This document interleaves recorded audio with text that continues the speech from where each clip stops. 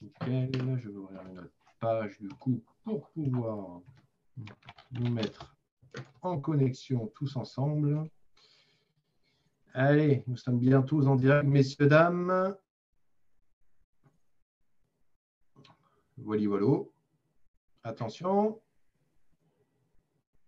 Attention, on y est. Ça va venir. Il est un peu long ce soir. Hein, on sent que... Ah, voilà, on est en direct. Bonsoir à tous. Bienvenue sur Mysteria TV, la chaîne de l'infini. Très heureux de vous retrouver ce soir pour une nouvelle conférence avant le week-end qui est attendu par beaucoup de monde. Après ces longues semaines, euh, ouais, longues semaines. Alors on dit que le temps va plus vite, mais bon, effectivement, c'est vrai que ça va assez vite parce que je n'ai pas vu la semaine passée. Mais quand même, quand on arrive au week-end, on, on, se dit tiens, ouais, je suis bientôt au week-end, c'est bien, c'est chouette. C'est chouette. Voilà, voilà. Bah, écoutez, très heureux de vous retrouver ce soir en compagnie de Mathilda Rossignol. Bonsoir Mathilda. Salut Anatole, bonjour tout le monde. Voilà, Mathilda qui revient sur Mysteria TV, qui était déjà venue nous parler de la communication animale.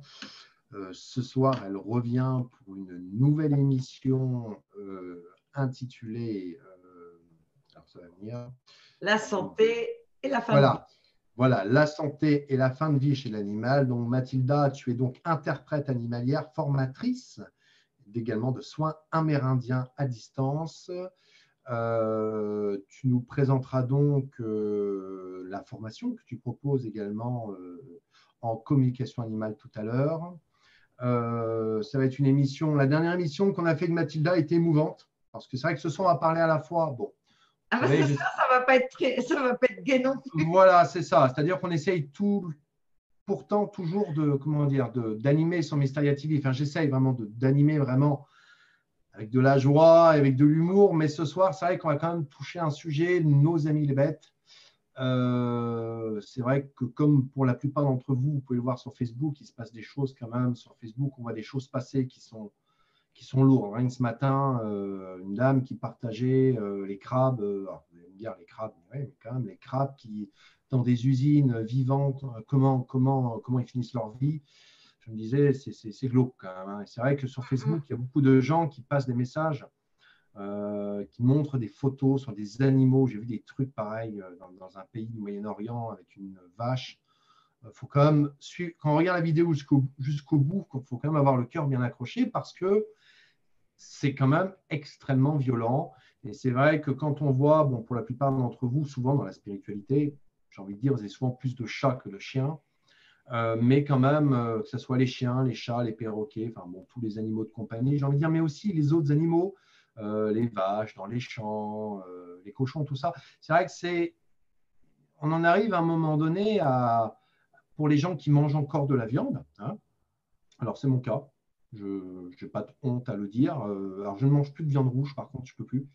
Viande blanche, j'arrive encore à en manger. Mais c'est vrai que, quand même, j'ai du mal. Voyez. Ah ça me fait réfléchir. Même euh, quand j'en achète, je ne sais pas. Il y, a quand même, au fond de moi, il y, a une pensée toujours qui arrive et qui me dit euh, au fond de moi, je sais que c'est pas bien. C'est pas bien. Et, et, voilà, maintenant, je ne critique pas les gens qui, mangent de la viande. Hein. On mange de la viande depuis la nuit des temps, j'ai envie de dire un petit peu. Mais c'est vrai que, euh, bon, euh, c'est vrai que les animaux ont beaucoup de choses à nous apporter. Moi-même, le premier, à un moment donné, je voulais voir à un moment donné pour prendre un cochon, euh, parce que je trouve cet animal super. Je trouve que c'est un animal très intelligent, très sympathique aussi. Mais euh, c'est vrai qu'il euh, est peut-être temps, effectivement, que, euh, pour avoir travaillé aussi dans la grande distribution, je le sais, hein, on produit de la, viande à mort. Je veux dire, c'est, je veux dire, on balance la moitié. Enfin, je veux dire, c'est vrai que c'est anormal ce qui se passe actuellement pour la planète par rapport à tout ça. Et, c'est vrai que ce serait bien d'y mettre un terme véritablement une bonne fois pour toutes. Voilà. Alors, euh, avant ça, donc je vais, euh, avant de commencer donc cette conférence, je vais donc basculer sur un autre moteur de recherche, si vous le voulez bien. Ça sera plus facile pour moi pour prendre vos questions. Alors si ça ne marche pas, ça ne va pas le faire. Euh, ah non, ça ne va pas marcher. Je vais le faire différemment, à l'ancienne, comme disait l'autre. Voilà. Voilà. Donc voilà, là c'est bon, je me vois, super, parfait.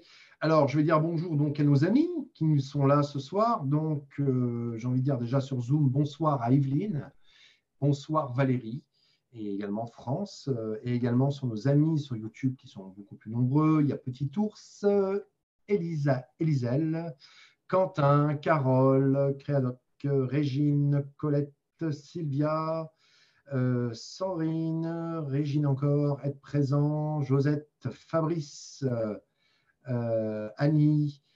bonsoir à tous et merci d'être avec nous et puis tous les autres qui verront cette, donc cette vidéo en replay. Alors, donc, on va commencer quelques mots sur toi, donc Mathilda. donc, tu es, donc Mathilda, donc tu communiques avec les animaux depuis l'âge de tes 5 ans. tu as élargi, approfondi et complété tes, tes connaissances dans la psychologie et l'anatomie animale éthologie, la radiesthésie, la lithothérapie, l'EFT et le Reiki. À présent, ta mission est d'aider les animaux et leurs gardiens. Tu aides les humains à parvenir à une meilleure compréhension sur le compagnon animal afin de résoudre les problèmes de comportement ou émotionnels, le mal-être des animaux et améliorer, et améliorer leurs relations. Voilà. Pour toi. Donc, je vais te laisser un petit peu te présenter déjà. Et puis, euh, après, tu pourras nous parler un petit peu du, titre de la conférence. Euh, alors, excuse-moi, j'ai eu une coupure tout simplement parce que j'essayais de suivre sur YouTube. Il y a le son qui se Alors, oui, oui, ah oui, oui, non, faut, non, ne, phrases? Non, non, non, je disais, je disais, je te laisse la parole. Explique-nous un petit peu ton parcours, si tu veux bien, dans un premier temps, et puis après, on parlera donc du vif du sujet. Bah, mon parcours, il n'a pas changé depuis la dernière fois. Hein. J'ai gardé la faculté de communiquer avec les animaux euh, quand j'étais petite. Hein.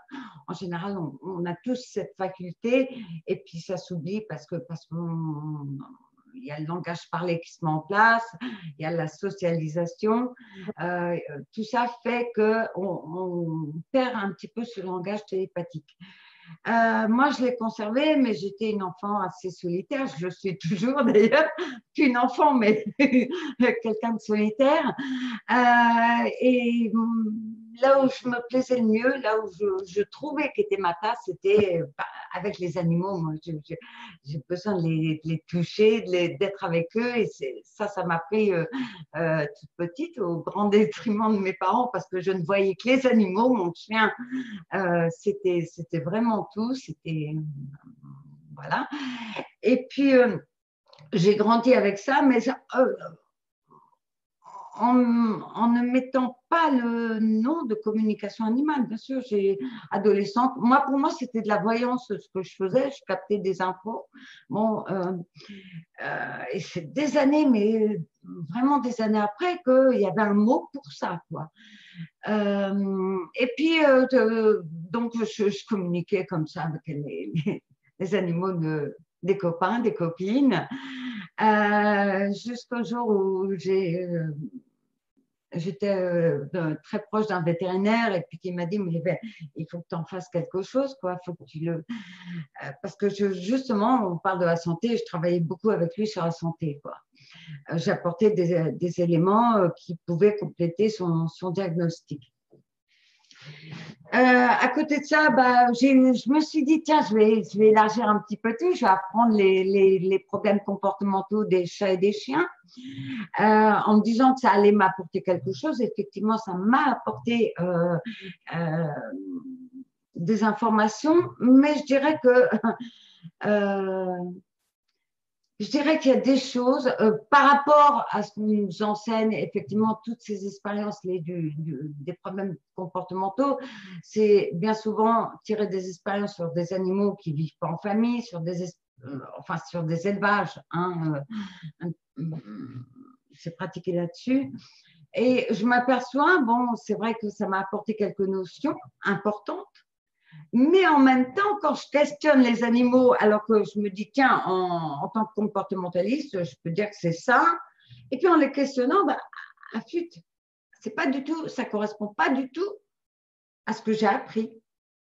Et c'est là où je me dis que la communication animale est quand même beaucoup plus pertinente que ce qu'on nous enseigne. Alors, je ne dis pas que ce qu'on nous enseigne est mauvais ou faux. Je dis qu'il n'y a rien, il y a rien de mieux que demander euh, à l'intéresser ce qui se passe.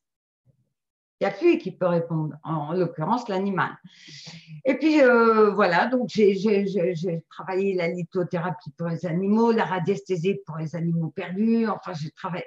Moi, je, suis un petit peu, je tape un petit peu partout. Euh, enfin, tout ce qui est lié, bien sûr, aux animaux. Et puis, euh, donc voilà, après, j'ai créé mon école où, effectivement, je, donne des formations. Je suis assez fière parce que j'ai formé pas mal de professionnels. Je pense à Manu, je pense à, à Geneviève, à Laura. Euh, bon, je pense à elle, j'oublie les autres, excusez-moi, euh, Stéphanie, il y, a, plein de monde, mais je, les aime toutes. Donc, euh, et puis, euh, bon, donc oui, donc je fais des formations et puis, et puis ben voilà. la, communication animale, en fait, pour, pour résumer un petit peu en quelques mots, qu'est-ce que c'est? C'est un langage télépathique, c'est un, un dialogue télépathique. Si tu veux, tu envoie un message à l'animal et tu dois réceptionner son message. C'est un dialogue. On peut faire un monologue. Euh, c'est d'ailleurs ce que j'enseigne aux, élèves quand ils ont un peu de mal. J'ai euh, fait un monologue plutôt qu'un dialogue pour l'instant. Euh, mais on peut avoir comme ça un échange comme toi et moi actuellement. Quoi. Et c'est ça qui est formidable. Alors, en l'occurrence, pour la santé, c'est hyper important parce que par le biais de la santé, on arrive à, euh, l'animal arrive à nous donner des informations que, peut-être le vétérinaire n'a pas. Je cite souvent euh, la, petite chaîne Goé, qui était en Nouvelle-Calédonie, une petite pensée pour Magali d'ailleurs. Euh, euh, cette petite chienne, euh, donc c'était une association qu'il avait récupérée, qu'il avait emmenée chez le vétérinaire parce qu'elle était hyper maigre à envoyer les os. Moi, quand j'ai vu la photo, je me dit oh mon Dieu. Et cette petite chienne, donc la vétérinaire avait fait des prises de sang et trouvait rien rien. Donc Magali, euh, qui faisait partie d'une association, me dit est-ce que tu veux bien communiquer avec elle euh, Qu'est-ce qu'elle veut? Alors, cette, petite louloute, je me souviens pas bien des détails, mais de, euh, l'essentiel, c'est que déjà, elle voulait partir, elle voulait se laisser partir parce qu'en fait, elle avait un gardien, mais ce gardien elle disait que euh, bah, lui, il avait laissé un petit peu tomber parce qu'elle était vieille et que voilà, un animal vieux, bah, ça nécessite des soins, ça nécessite peut-être plus d'attention. Et euh, elle, elle avait compris son gardien. C'est son jugement que je dis ça. Hein. Euh, son gardien, bah, voilà, il n'en voulait plus parce qu'elle était vieille. Et donc, euh, elle était vraiment décidée à se laisser euh, partir. Et puis, euh, je, lui, demande, mais qu'est-ce que tu as? Fais-moi voir un petit peu ce que tu as. Et elle m'envoie l'image, parce que effectivement, dans une communication, l'animal peut nous répondre par image, ce qui est en général vrai dans 98% pour, 98%, je dirais, des gens qui communiquent avec les animaux reçoivent essentiellement par image. Après, on a les pensées, on a les goûts, les odeurs, les, euh, les voix, les... Et, cette petite louloute m'avait envoyé l'image de ses intestins. Et je vois des, des trucs, des taches. Et je dis à Magali, écoute, euh, elle a plein de taches au niveau de l'intestin, il y a quelque chose. Magali m'a répondu, mais comme c'est en Nouvelle-Calédonie, il y avait un décalage horaire. Entre-temps, la petite chienne est décédée après ma communication, mais la vétérinaire, elle a voulu vérifier, euh, faire euh, une autopsie. Et effectivement, il y avait des métastases au niveau de l'intestin. Et c'est quand même fort, quand même, le vétérinaire qui ne trouvait pas et la, la chienne qui pointe là-dessus, quoi.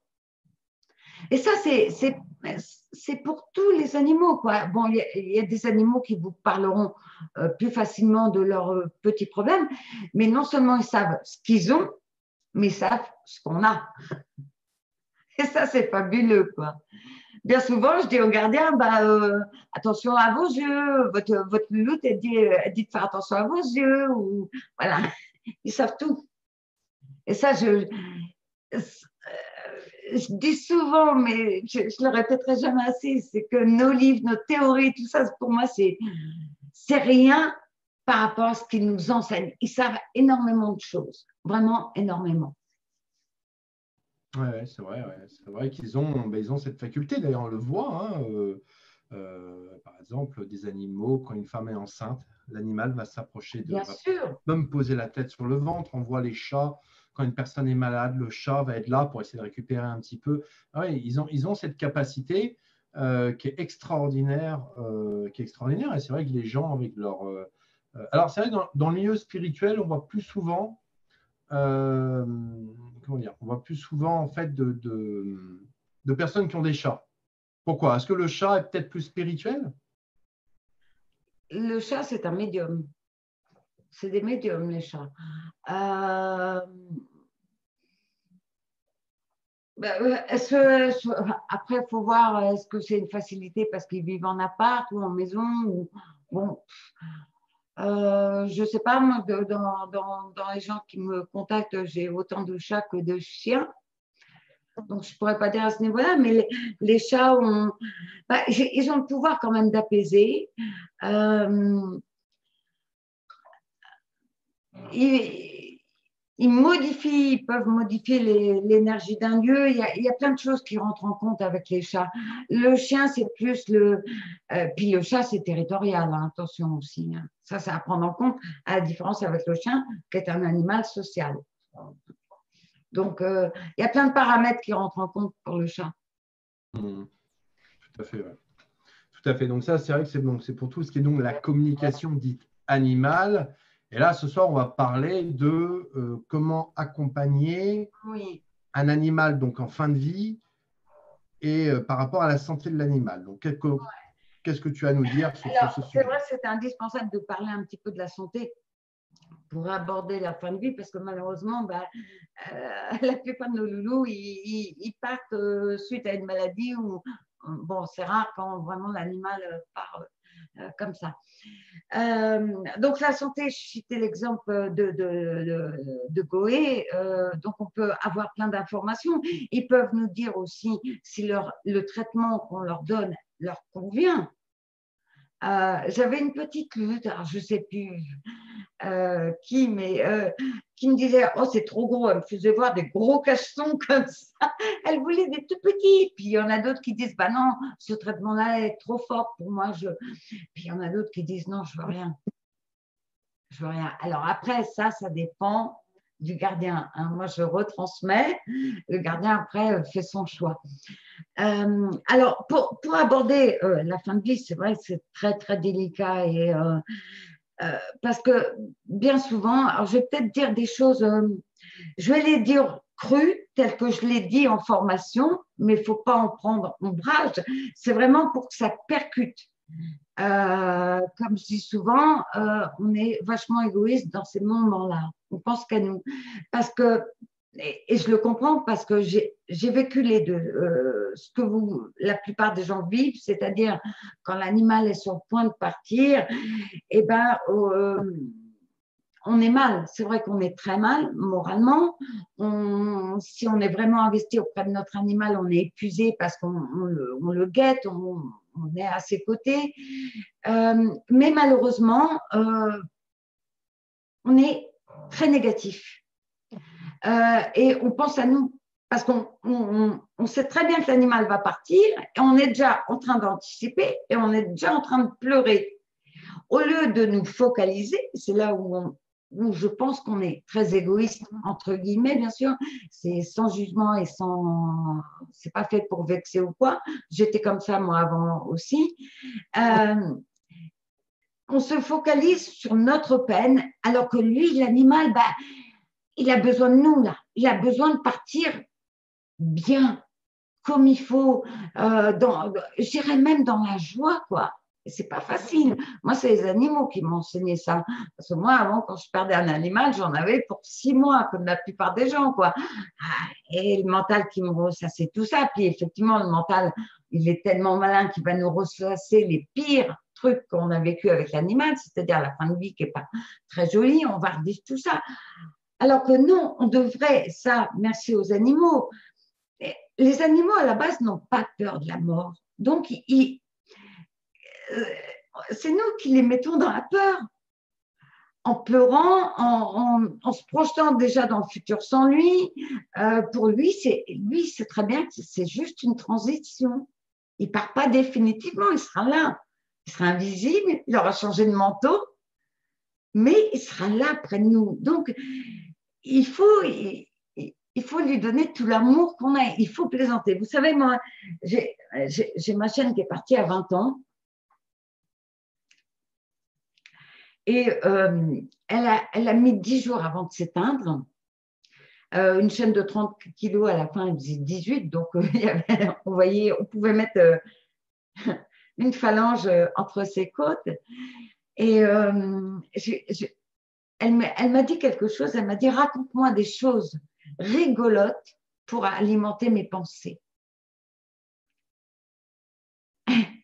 Alors là, c'est très dur parce qu'on voit une une grosse chienne qui bouge pas, qu'on est obligé de tourner, qu'on est obligé de nettoyer ses pipis parce qu'elle se lève pas, fait soin. Et il faut raconter des choses rigolotes. Alors, euh, bah, j'ai été obligée de, faire le clown, hein, de me mettre devant elle. De, je chantais, je dansais. Voilà. Et je sentais que ça la vivifiait quand même. Alors, même si elle partait, son regard était plus ou apaisé. Alors là aussi, euh, quand c'est euh, pour revenir à la question de parce que y a, pour la fin de vie, je suis un petit peu éparpillée, j'ai l'impression, je passe du coq à l'âne, mais bon, on reprendra avec les questions. quand on aborde la fin de vie, on, peut se poser la question de l'euthanasie. Et en l'occurrence, pour cette chaîne, et comme c'était ma chaîne, il y avait l'affect euh, qui est en jeu. Donc, on, peut se dire, surtout pour un, truc aussi délicat qu'est l'euthanasie, euh, je me suis dit, moi, je captais qu'elle voulait partir d'elle-même, comme la majorité des animaux, ils veulent partir d'eux-mêmes. Hein. Euh, même en grande souffrance, on pourra en reparler.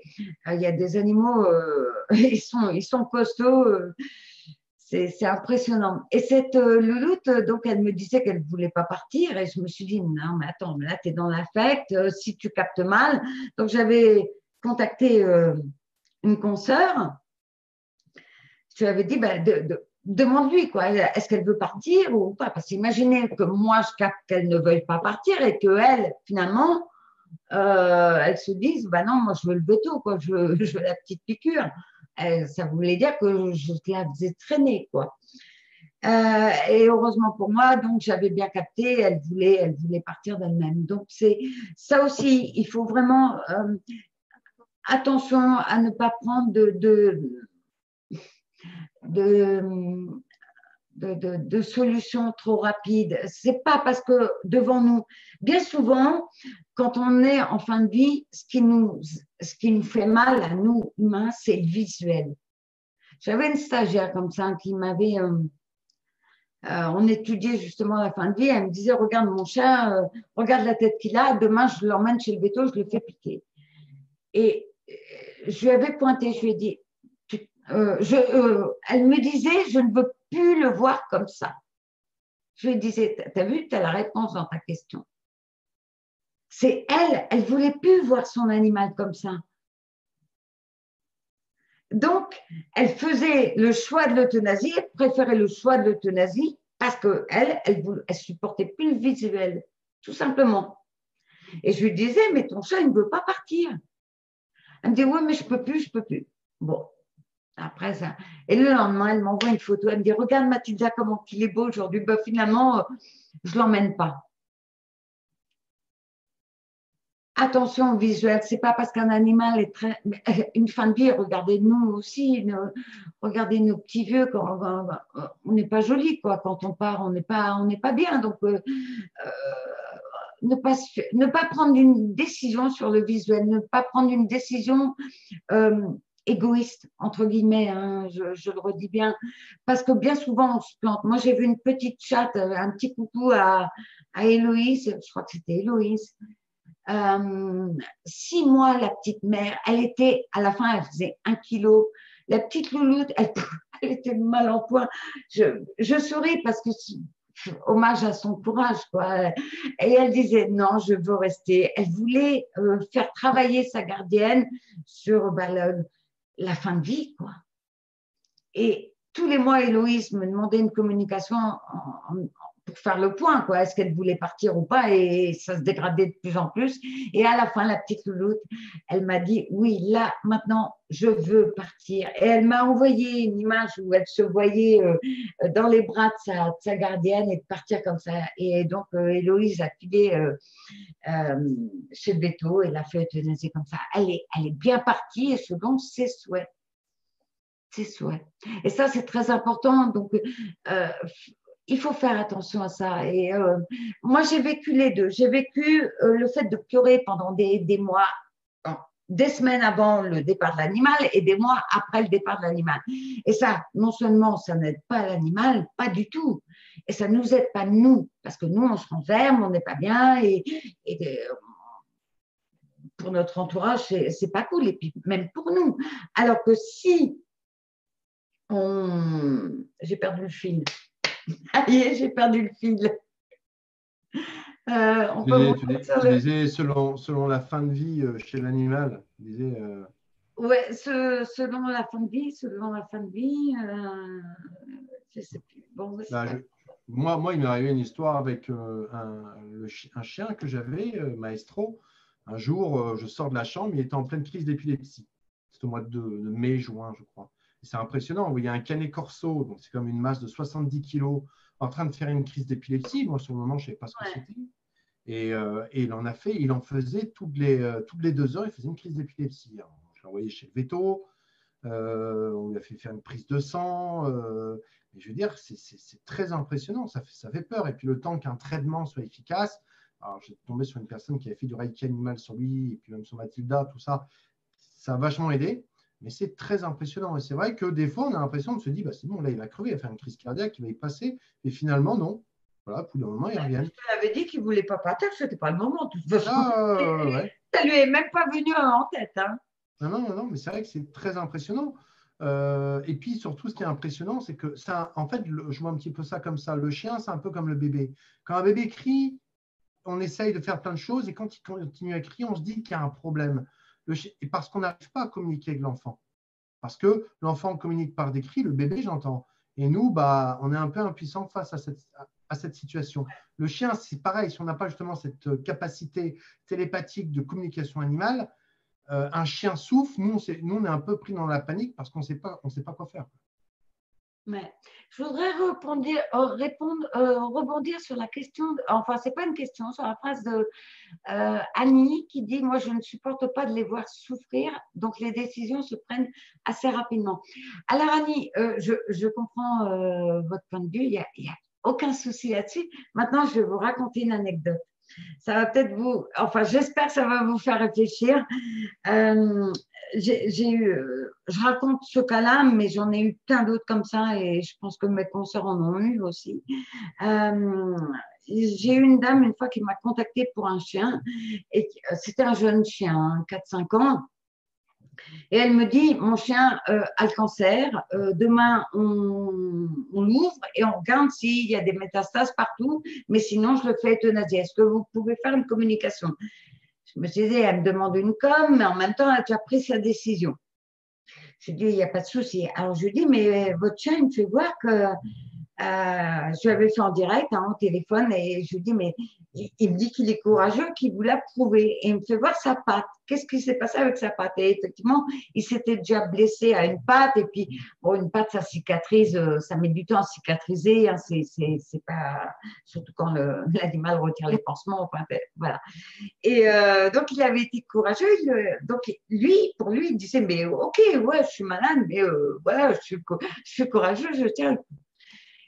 Euh, et puis, euh, euh, l'animal me, dit, mais non, je, ne veux pas partir, je veux rester. Et il me montrait qu'il y avait d'autres chiens à côté de lui et qu'il y avait la gardienne qui était triste et les autres chiens qui étaient tristes. Et je lui disais, mais votre chien, il me dit que lui, ce qu'il a besoin, c'est de voir de la joie autour de lui. Non seulement la gardienne, parce qu'elle était triste de voir son animal avec un cancer, donc elle, elle envahissait l'ambiance euh, avec cette émotion de tristesse. Donc les, autres chiens, bah, les, copains, euh, ils étaient tristes aussi, tout le monde était triste. Donc ce chien, comment, faire pour qu'il se batte? Je disais, il veut pas partir lui. Hein. Elle me dit, bon, bah, de toute façon, si demain il, y a des métastases, tant pis. Euh. Je dis, bah, écoutez, tenez-moi au courant. Le lendemain, j'ai attendu, pas de message, pas de message. Et puis elle me dit, bah, Mathilda, il était métastasé partout je l'ai fait partir. Là, je lui ai dit, bah, c'est dommage, c'est pas ce qu'il aurait voulu, quoi. Elle, me, elle a mis du temps à me répondre et, euh, et après, elle me dit, vous aviez raison. Ce chien qui était déjà endormi, parce qu'on venait d'ouvrir pour voir s'il était métastasé, il lui a fallu alors qu'il était endormi, il lui a fallu deux injections pour le faire partir. Et elle me racontait que le chien il faisait des bons. Il ne voulait pas partir, petit bonhomme. Donc, il, vaut mieux, enfin, je, veux dire, moi, j'aimerais pas que quelqu'un me dise, euh, bah, tiens, Mathilda, tu es malade, allez, on te fait partir, quoi. Eh, Attention, moi, si j'ai si pas envie de partir, plus de... Vous voyez, c'est pareil, quoi. Bon, nous, on n'a pas l'euthanasie, enfin, du moins, il, y a d'autres protocoles pour ça. Euh, mais je veux dire, attention, c'est pas notre vie dont il, qui est en jeu, c'est la leur. Donc, euh, bah, il faut peut-être leur demander euh, ce qu'ils veulent en faire de leur vie. Est-ce qu'ils veulent la continuer, l'arrêter? Ils sont aptes à le dire. C'est hmm. important. C'est important. Et donc, euh, j'ai retrouvé le fil de tout à l'heure quand je disais, oui, j'ai vécu comme vous tous à pleurer euh, avant et après un départ. Et les animaux m'ont appris à vivre autrement. je peux vous dire, euh, j'ai des amis là qui sont sur le chat, elles peuvent témoigner que bien souvent elles me disent, mais comment tu fais pour vivre comme ça tes départs? Mais moi, les départs, je, je les vis bien. Bien sûr que ça me, ça me fend le cœur. Je peux vous dire que ça me fend le cœur. Il y, a, toujours un ou deux animaux avec lesquels on a plus d'affinité que les autres.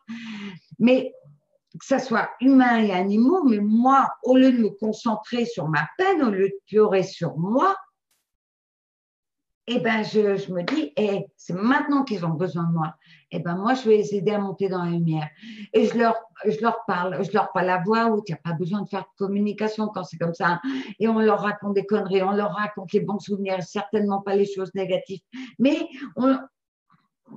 voilà, parce que si l'animal sent qu'on est dans des émotions trop basses, on, on coince, on l'empêche de monter.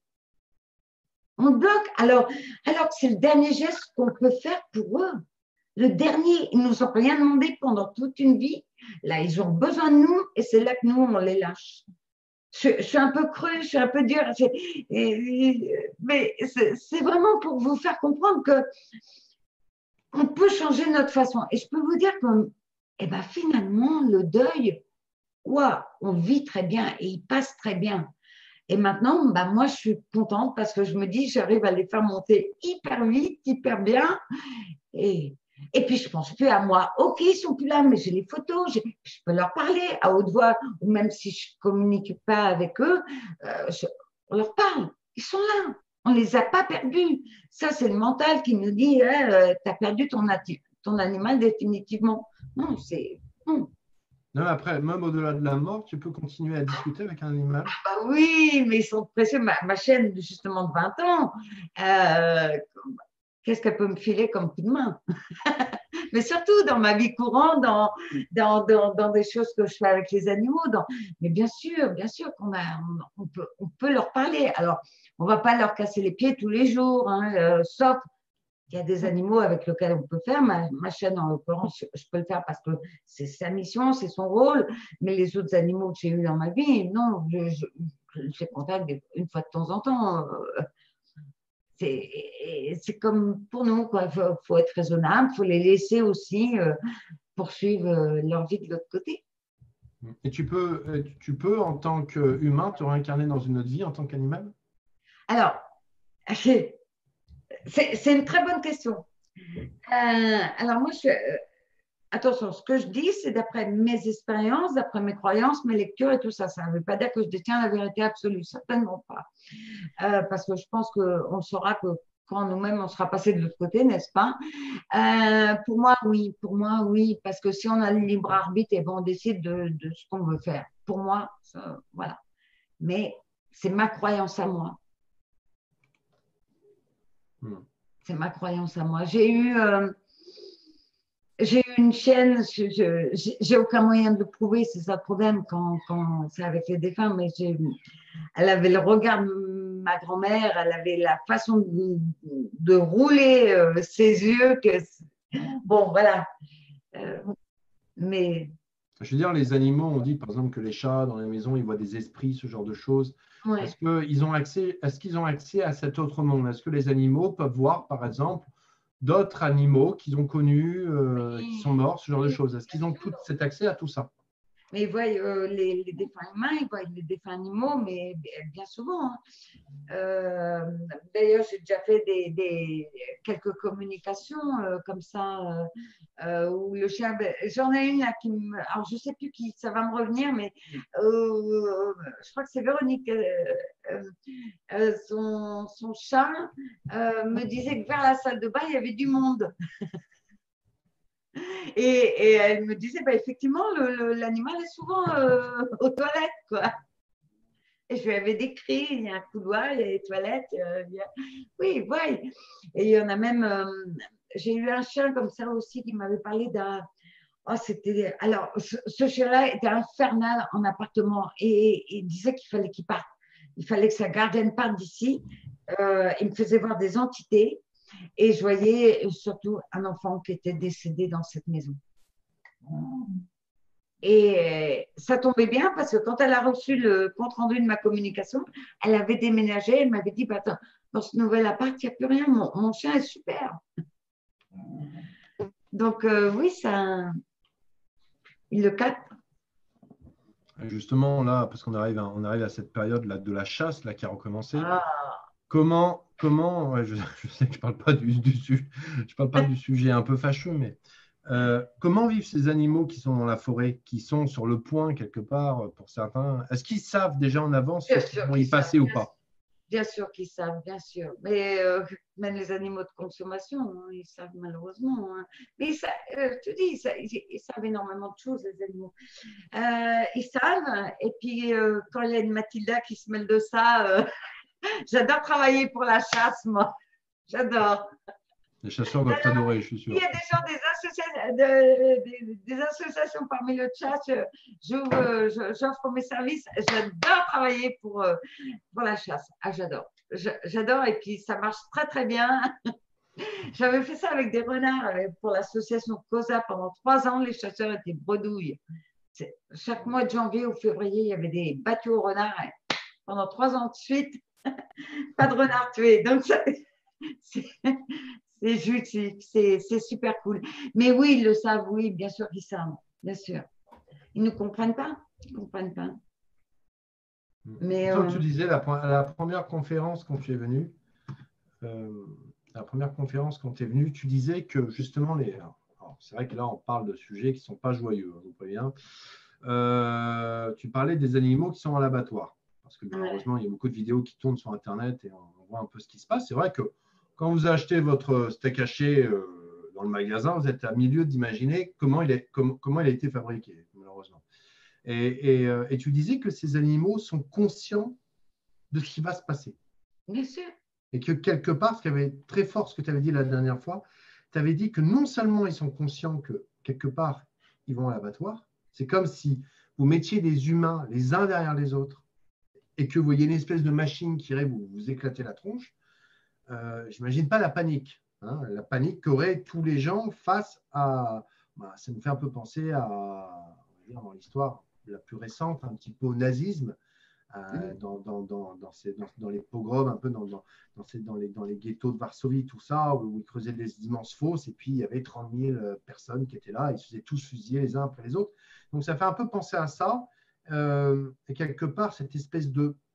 Alors, à la différence de l'humain, je pense, qui vit ça et qui, quelque part, sait qu'il est condamné, je pense qu'il y, a un côté qui est complètement cassé en lui, alors que tu parlais que les animaux, eux, déjà étaient dans l'amour, dans le pardon. C'est-à-dire qu'ils savent qu'ils vont mourir, mais ils sont déjà dans le pardon. Ça montre quand même un petit peu une différence avec l'humain euh, dans ce genre de situation.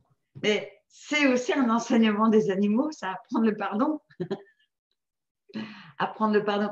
Mais oui, mais oui, ils sont pas. Euh, ce qui est très dur pour eux, euh, que, ce soit la chasse, la, consommation ou quoi, c'est la souffrance. C'est vraiment. Euh, partir pour eux, ça ne gêne pas, mais c'est toute la souffrance qu'il y a autour. Et, d'entendre leurs congénères. Et de, Moi, quand j'avais fait le, bah, la vidéo sur, YouTube, hein, ce, que nous mangeons nous disent, euh, c'est sur ma chaîne. D'ailleurs, j'avais fait ce, truc en plusieurs fois, mais je m'étais enregistrée en communiquant en même temps. Euh, c'est hard. Mais c'est, moi, j'ai eu des images. tu sais, quand tu, quand tu fais ça, je m'étais préparée parce que je m'étais dit ça va être, ça va être très dur. Euh, mais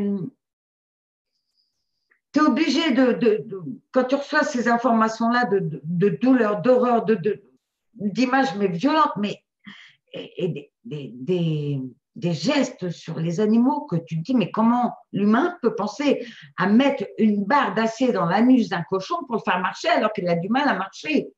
Et franchement, il faut, faut être barjot, quoi. Et t'en sors pas indemne, quoi. Tu, mais après une communication comme ça, moi, personnellement, j'ai envie de prendre l'humain, de le secouer, de dire, mais tout ça, arrêtez de consommer, quoi. Ça n'existerait pas s'il n'y avait pas de consommation.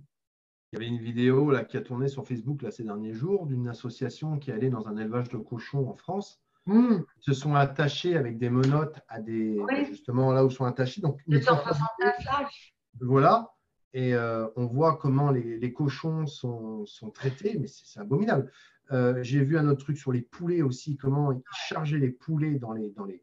Je veux dire, mais c'est atroce. Quoi. Il y a un autre truc aux États-Unis aussi, une ferme où il y a 40 000 vaches, 40 000, hein, c'est tout à fait énorme, sous des grands hangars, mais elles restent plantées au même endroit, H124. Elles ne vont pas au près, c'est-à-dire qu'elles sont, elles ont le cou coincé dans un truc, elles mangent, elles font tout sur place et elles ne bougent pas.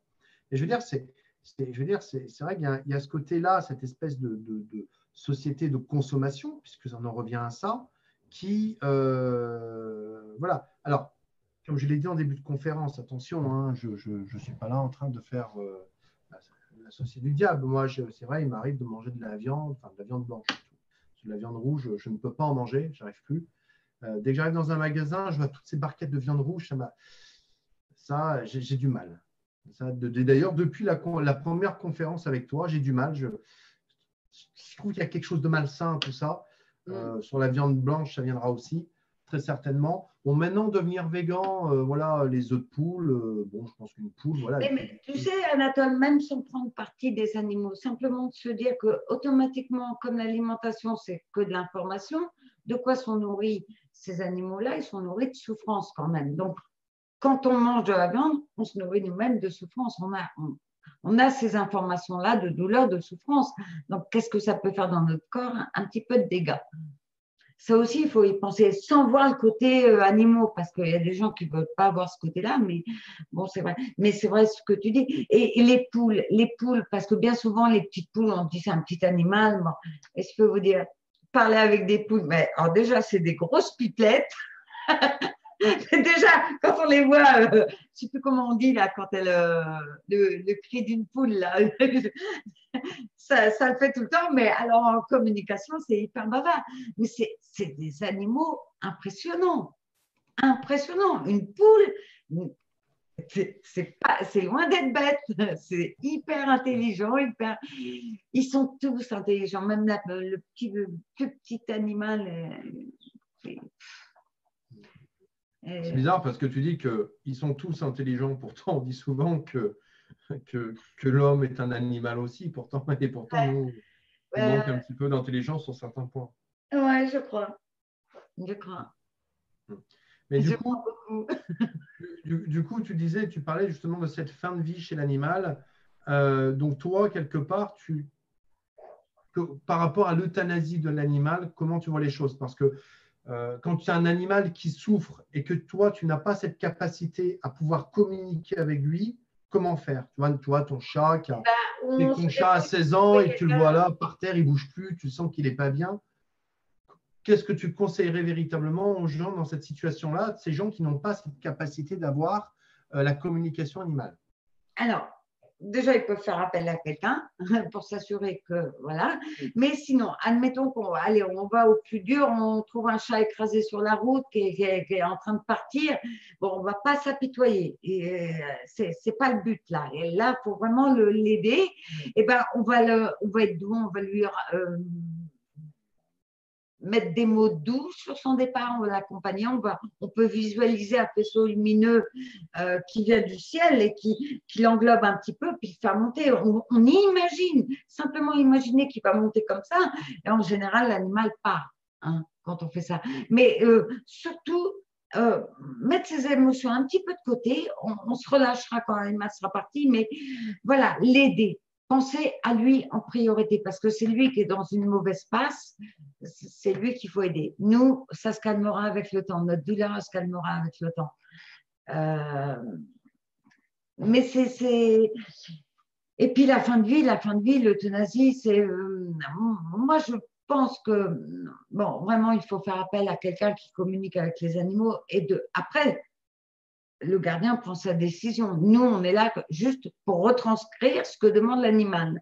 Eh mais bien souvent, et moi je suis étonnée parce que je te dis, j'ai vu des animaux mais extrêmement en vilaine posture, vraiment, euh, tu te dis, mais, il faut qu'ils partent, il faut qu'ils partent là, euh, il ne faut pas qu'ils restent. Et ben non, ils veulent rester, ils veulent partir. Alors là, c'est dur. Là, il faut travailler avec le gardien, lui dire, bah voilà, son choix est comme ça, est-ce que vous pouvez encore tenir? Puis il y a des animaux qui veulent partir chez eux, pas chez le béto. Le, béto, tu te rends compte, c'est un endroit, c'est pas chez lui. C'est un peu comme. avec des odeurs, c'est avec des bruits. C'est pas réconfortant. D'ailleurs, d'ailleurs, un truc qui est très rigolo, c'est quand, quand, enfin, pas tous les chiens, mais il y a des chiens souvent un peu hypersensibles. Tu les amènes chez le veto, dès qu'ils arrivent devant chez le veto, c'est la panique. Quoi. Refusent de rentrer chez le veto. Parce qu'obligé de les porter. ils savent, il y en a qui savent, qui ont capté l'intention, tiens, elle veut me faire partir. Hmm. Eh. c'est. Euh, non, il faut demander à l'animal. Alors, quand l'animal est prêt, euh, eh ben, il n'y a pas de souci, on est en accord. Il y, a des, animaux qui sont plus. Euh, qui ont plus de fonctions, enfin, au-delà de la, de la, au-delà de la compagnie, d'accord? Au-delà de l'animal de compagnie, est-ce qu'il y a des animaux qui ont plus de fonctions que d'autres? Plus de fonctions que d'autres? C'est-à-dire, tu disais tout à l'heure que le chat, lui, était médium. Tu disais, le chien, lui, il est plus dans, dans, dans la compagnie. Est-ce qu'il y a d'autres animaux comme ça qui ont plus de fonctions sur Terre ou envers les humains que d'autres? Ils, sont, tous, ils sont tous là pour nous faire grandir, ça c'est clair, pour nous apporter de leur enseignement. Je dirais que le chien, euh, le chien se place bien aussi comme animal miroir. Hein. Euh, ouais, le chien, ça serait plus ça, je dirais. Euh, parce que tu as des chiens qui te. Euh, je ne sais pas, j'ai eu une fois un, en consultation un chien qui était soi-disant agressif et lui me disait mais non mais regarde là et il me parlait de sa gardienne. Alors là c'est très très dur parce que comment retranscrire à la gardienne? Là, c'est vraiment pas cool. Là c'est pas un beau cadeau comme fait le chien. Mais et euh, mais euh, il était en train de lui montrer regarde regarde comment tu es agressif regarde comment tu es nerveuse comment tu stresses après, c'est au gardien d'être ouvert. S'il est ouvert, c'est bingo parce que lui, ça va le faire grandir. Votre chien vous voit un petit peu agressif. Bon, et c'est sans jugement, tout ça, parce que les, animaux ne jugent pas du tout. Euh, ils aiment bien pointer là où ça fait mal, mais moi, je dis tout le temps, OK, euh, ça, c'est mental, il n'aime pas. il me fait chier, pourquoi il me dit ça? Et puis en même temps, mais quelle belle leçon Je vais pouvoir travailler là-dessus. C'est ça qu'il faut se dire. Faut pas faut pas voir ça avec le mental, quoi. Mais bien souvent, ouais, les chiens sont, sont plus l'effet miroir, euh, je dirais, de l'humain. Hmm. Le cheval aussi, hein, il est pas mal là-dessus. Pourquoi, pourquoi des fois tu vas tomber, j'ai envie de dire, euh, moi, moi par exemple à côté de chez moi, quand j'amène les enfants à l'école, souvent à pied le matin, parce que l'école n'est pas loin, euh, on tombe, euh, il y a un canet corso et, Ah, un, et, et un autre berger.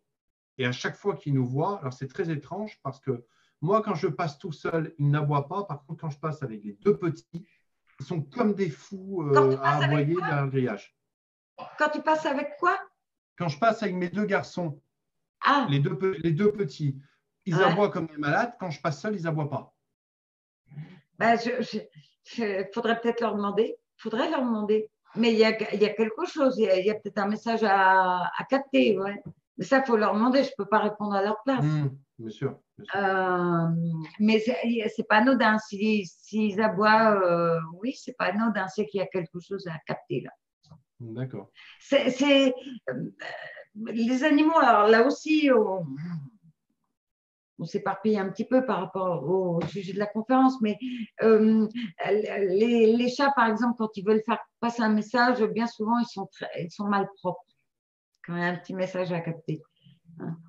En dehors du contexte médical, bien sûr, mais euh, euh, les chiens, eux, ils prendront peut-être plus sur eux physiquement. Donc, euh, je veux dire par là, si un animal a un problème au foie, bah, peut-être voir son, son propre foie à nous, à soi, pardon. Et, entre eux, comme dit Fabrice, il fait les animaux, il fait ils sont mignons, mais alors quand ils se bouffent entre eux, c'est autre chose. Bah, ils ont, oui, ça aussi, il faut demander. Il y a des rivalités des fois, mais euh, j'a- j'avais fait, une, euh, j'aime bien raconter à chaque fois une anecdote parce que c'est plus, plus parlant. Euh, j'avais une personne, je crois que c'était Gaëlle, oh, ça remonte ça. Elle avait des, des chiens euh, qui se sont jamais battus. Puis du jour au lendemain, les mâles se battaient. Et impossible de les arrêter. Quoi. Elle me demandait une communication et les deux chiens finalement étaient copains, mais ils avaient remis l'organisation de la meute en, en ordre. Et donc, ils s'étaient dit, ben, moi, je veux surveiller le terrain, toi, tu gardes les femelles. Euh, Elle avait des chiennes, donc euh, lui, il devait gérer les femelles. Du jour où ils m'ont dit que j'ai retransmis à Gaël, les chiens, plus de bagarre. Et ça, au niveau du comportementalisme, un comportementaliste ne pourra pas te dire que c'est ça. Ben non, un comportementaliste, il va te dire. euh, moi, j'avais eu deux, chi- non, j'avais trois chiens à un moment donné. Et sur les trois chiens, il y avait, euh, il y avait donc un Terre-Neuve, il y avait un, il y avait un Bosseron, il y avait un Canet Corso. Le, le Terre-Neuve, c'était un chien qui ne supportait pas de rester seul. Et quand je dis ne supportait pas, c'était c'était une dépression, il ne supportait pas. On a pris un Bosseron. Avec le Bosseron, il faisait que des conneries. J'ai acheté un canapé, trois jours après, j'ai retrouvé mon canapé éventré. Il cassait tout, mais c'était un truc de fou, il cassait tout. Et quand on, quand on a pris donc le Canet Corso à l'époque, euh, il y avait un comportementaliste qui nous a dit, mais en fait, c'est assez simple. Il fait, ils n'ont pas été dressés, ils n'ont pas été dressés comme il faut. Et nous avait fait acheter une cage, une cage, ça va être étrange, mais ouverte. hein. Le chien pouvait rentrer et sortir. Voilà. Et il se mettait dans sa cage, le chien, et d'être dans cette cage, dans cet endroit où il se sentait protégé, ça l'a canalisé. Et Maestro, on pouvait le laisser seul dans la maison, et aucun problème. Par contre, les deux autres seuls dans la maison, ils détruisaient tout. Voilà. Alors après, bon, avait le- Il y a une anxiété derrière. C'est que, alors ça aussi, c'est le problème, c'est que bien souvent, les éleveurs, les, euh, ben, ils vendent les, les choses juste après le sevrage, et ça, c'est une bêtise. Enfin, pour eux, c'est pas une bêtise parce que ça évite après d'avoir des frais d'alimentation pour les, les chiots, une fois qu'ils sont sevrés, évidemment. Donc, ils les vendent à ce moment-là. Euh, et ça, c'est une bêtise humaine de les prendre à, ce- cet âge-là, parce que la maman, n'a pas fini son boulot, ok, elle a fini de les nourrir, mais maintenant, il y a toute la hiérarchie à mettre en place. Et bien souvent, dans les élevages aussi, c'est qu'il n'y a pas beaucoup de stimuli. hein. Euh, si vous êtes, euh, euh, par exemple, si vous êtes en ville et que vous achetez un chien en campagne, faites pas cette erreur. Ce chien-là ne sera pas habitué au bruit des voitures, à la foule. Euh, il va être complètement perdu. Et ça, ça envoie des fous. Je confirme, parce que la première fois que je suis allé avec euh, réciproquement. hein. Terre-Neuve en ville, il était pris de panique. Mais bien sûr.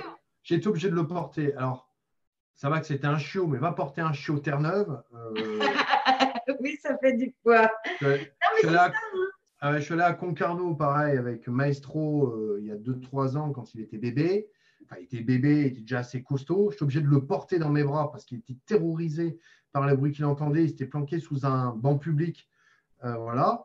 Ben oui. Vous portez votre chien à bout de bras comme ça jusqu'à la voiture. Non, mais c'est clair, c'est clair.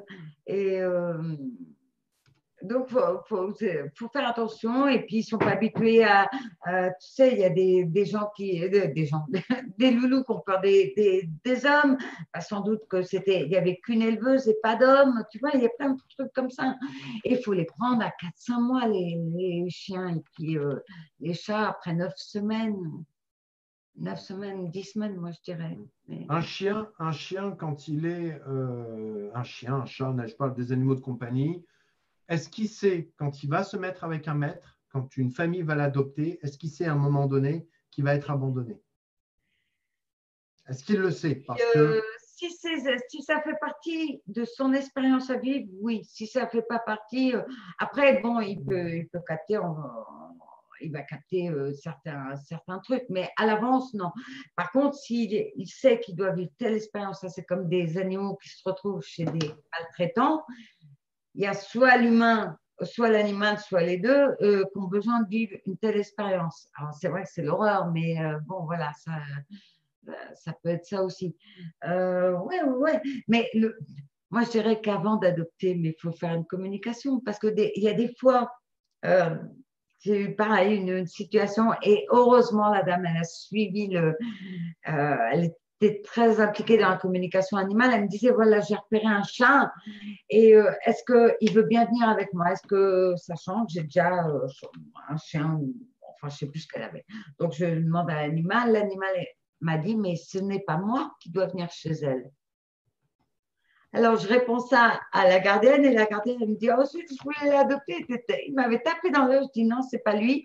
Et je lui avais donné un indice sur l'animal sur qui viendrait dans sa vie. Et effectivement, et je lui avais dit surtout ne cherchez pas parce que euh, l'animal qu'elle m'avait dit de communiquer avec, elle l'avait trouvé dans une annonce, enfin, ou sur Internet, je ne sais plus comment, enfin bref. Et je lui avais dit euh, ne le cherchez pas, il viendra à vous. Et finalement, c'est une amie ou un truc comme ça qui l'a appelé en lui disant voilà. Et là, c'était le bon animal. Il y a des animaux qui savent très bien, non, c'est pas, c'est pas cette personne chez qui je dois aller. Et puis il y a des animaux, ça on voit chez les chats. Euh, les chats, ils viennent, ils naissent. Moi, je sais que j'ai beaucoup de chats. Il y en a qui sont partis. Il y en a qui, ils ont choisi de naître chez moi, mais ils ont choisi de vivre leur vie ailleurs parce qu'ils ont d'autres expériences à vivre. Euh, et puis peut-être le besoin d'apporter une aide à un autre gardien ça, c'est aussi des choix comme nous, on a fait des, euh, fait des choix avant de nous incarner. Ah bien sûr. C'est vrai que. Euh, est-ce que pour euh, la fin de vie d'un animal, tu penses que de faire du reiki animal, ça peut aider à soulager sa douleur? Mais tout peut aider, tout. Tout, tout, tout, que ce soit des soins, des paroles douces, des communications, tout.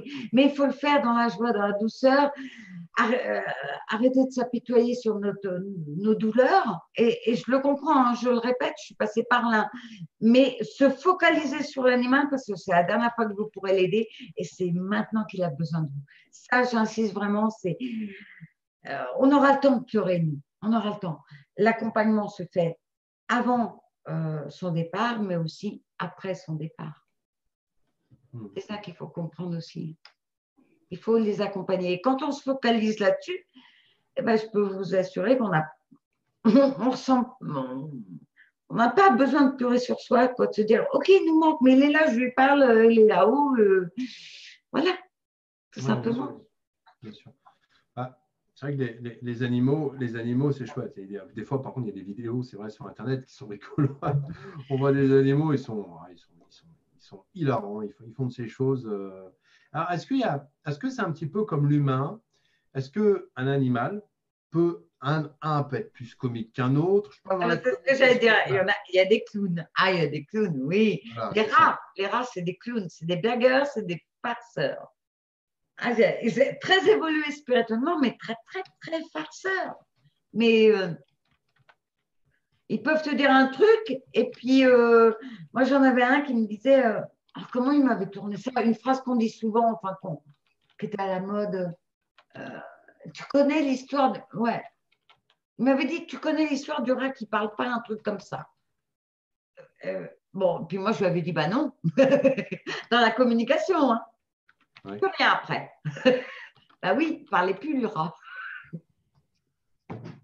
Donc, euh, mais plein de trucs comme ça, mais c'est. C'est, ouais, il y a des clowns, il y a des, y a des spirituels, il y a, y a de tout, comme chez l'humain. Par contre, j'en ai pas vu, euh, moi, dans mon expérience avec eux, j'ai pas eu d'animal agressif euh, en communication. Agressif peut-être dans, dans, dans, leur vie, mais dans la communication, non, j'ai jamais eu. C'était quand? C'était hier, je suis allé chercher mes enfants, puis à un moment donné, je tombe sur, un, sur, le chemin que je prends. Je passe toujours par la campagne, puis je rejoins une petite route, et puis je tombe sur un chien. Alors, c'était un, un, berger, chien de berger, euh, mais il s'est arrêté devant moi. Alors, c'est vrai que c'est toujours un petit peu impressionnant quand on se retrouve seul face à un chien. Voilà.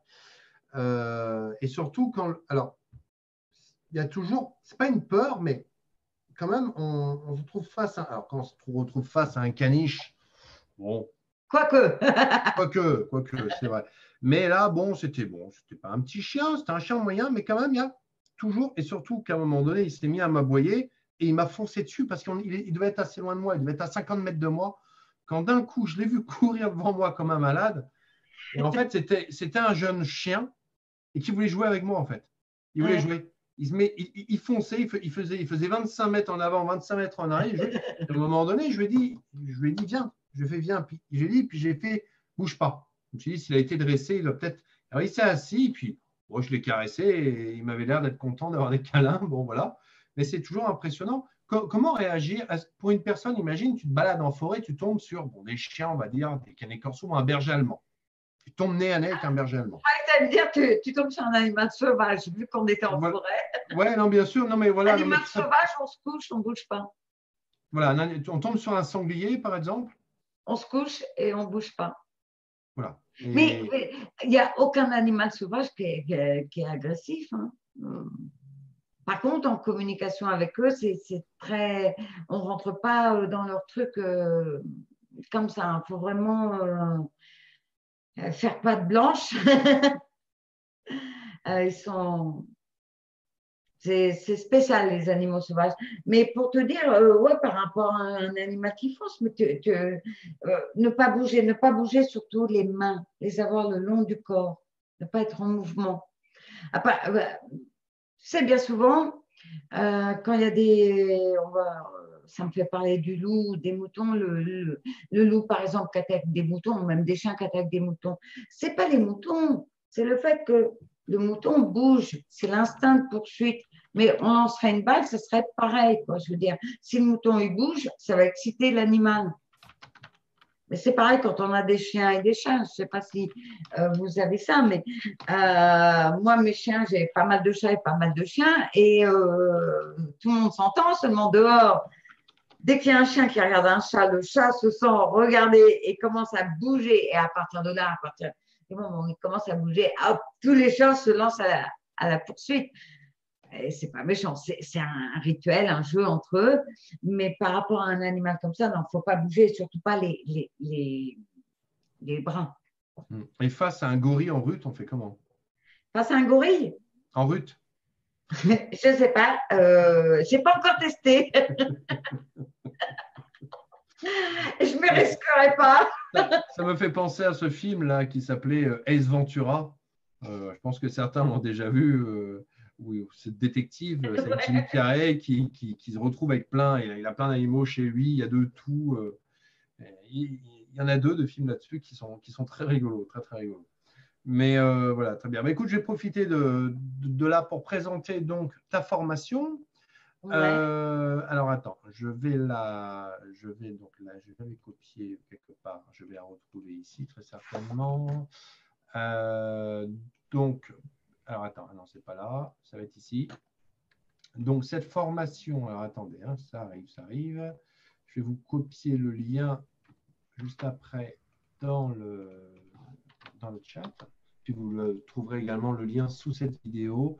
Donc, apprenez le langage télépathique et vivez une fabuleuse aventure avec votre loulou. Donc, c'est une très grosse formation, donc de 10 modules. Euh, bah, tu vas pouvoir nous en parler en, en détail puisque c'est toi qui l'as créé. Je te laisse donc la parole. Eh bien, euh, oui, parce que bien souvent, euh, on a plusieurs niveaux dans ce genre de formation. Moi-même, je l'ai fait et je m'étais dit, mais les gens, quand ils veulent, ils veulent un truc euh, global, quoi. Il faut qu'il y ait tout. Donc, moi, j'ai fait un pack de formation où on étudie toutes les situations de la vie Hein, c'est-à-dire on part euh, de, de, problèmes de comportement avec un animal ou avec d'autres animaux, des, missions de vie, des, euh, euh, de la santé, de la santé, de la fin de vie, des décédés. on aborde un petit peu tout, je crois que les animaux sauvages, les animaux nuisibles. Vraiment, on aborde tout. C'est une formation qui est entièrement en vidéo, alors, vous allez me dire, ouais, mais c'est n'est pas pareil que l'interactif. L'interactif, effectivement. Mais euh, l'avantage des vidéos, c'est que vous en disposez pendant cinq ans, donc vous pouvez revenir sur un truc que vous n'avez pas compris. Euh, il y a des exercices, hein, il y a une quarantaine de communications à faire. Euh, et les exercices, je les corrige personnellement. Donc, ça me fait beaucoup de corrections. Hein. Ce n'est pas un truc, un, résumé ou une vidéo et vous avez la correction. Non, je vous prends un par un. Je vous envoie ma correction. Elle est vraiment individuelle. J'organise aussi une soirée de temps en temps où on se regroupe avec tous les élèves. Vous me posez des questions comme un direct comme là. Euh, qu'est-ce qu'il y a d'autre? Il y a des vidéos bonus. Je vous donne plein d'astuces pour communiquer avec vos propres animaux. Il y a, euh, je pense qu'elle est assez complète. Euh, il y en a là dans le, dans le, dans le chat. il, y a, il, y a, il y a mes élèves. Super. donc, euh, on, voit, un peu de tout. Donc, c'est à son rythme. on étudie à son rythme. On fait les exercices et puis. Donc, c'est une, une, formule qui est au prix de 392 euros au lieu de 560. Ouais, parce que c'est toi. Hein Mais je sais. Je sais. Donc, sur Mysteria, votre TV. Et on peut payer en plusieurs fois et sans frais parce que moi, je préfère. Mon but, c'est vraiment de, de, de, dire aux gens les animaux ont besoin de nous, soyez nombreux à communiquer avec. C'est vrai que les prix, ils sont, ils sont, c'est assez élevé, qu'on prenne un niveau, deux, trois niveaux, qu'on prenne une formation comme Amen, c'est des prélevés. J'en suis consciente. Malgré tout, il y a du travail derrière, d'autant plus que, je le redis, je fais les corrections personnelles, personnalisées. Euh, mais euh, bah, pour que ça soit abordable, pour que ça soit juste pour tout le monde, il faut faire des paiements plusieurs fois. Moi, je, fais les paiements jusqu'à huit fois. Oui, c'est ça qui est marqué. Ouais. Facilité de paiement, deux, trois, cinq ou huit fois, accessible pendant cinq ans. Puis je suis patiente, quoi. Je veux dire, on ne peut pas, on me le dit, il faut vraiment me le dire. Et puis. Euh, voilà, 10 modules de 15 heures, des évaluations, ensuite votre progression, 3 heures de coaching personnalisé avec Mathilda, une quarantaine de communications à faire et par Mathilda, un accès 24 heures sur 24 via un espace privé sur le site École Mathilda Rossignol avec accès immédiat au premier module. Il y a Mimi Pinson qui dit qu'elle a perdu son chat. Euh, ah non, c'est dans le sens de départ, oui, parce que sinon, dans la formation, il y a aussi les animaux perdus. On apprend aussi à soigner, à faire des soins pendant une communication. Je pense qu'elle est assez complète. Hein. J'ai fait les trois niveaux, je les ai rassemblés. Euh, je vais prendre du coup maintenant un petit peu les questions. Ouais. Voilà, euh, donc du coup, euh, alors, il y a surtout des témoignages plus que des questions, je dirais. Régine qui dit Mes chiens m'ont offert des instants extraordinaires lors de leur grand passage, voir où ils vont des aides de la nature, libérer des vies passées, des cadeaux sublimes. Euh, voilà, il y a euh, alors, euh, alors il y a Créadoc qui dit tes formations sont juste géniales, Mathilda, un grand merci de nous enseigner ton savoir. Merci France. voilà, Eliselle qui dit qui est le gardien de qui L'animal probablement, notre gardien non.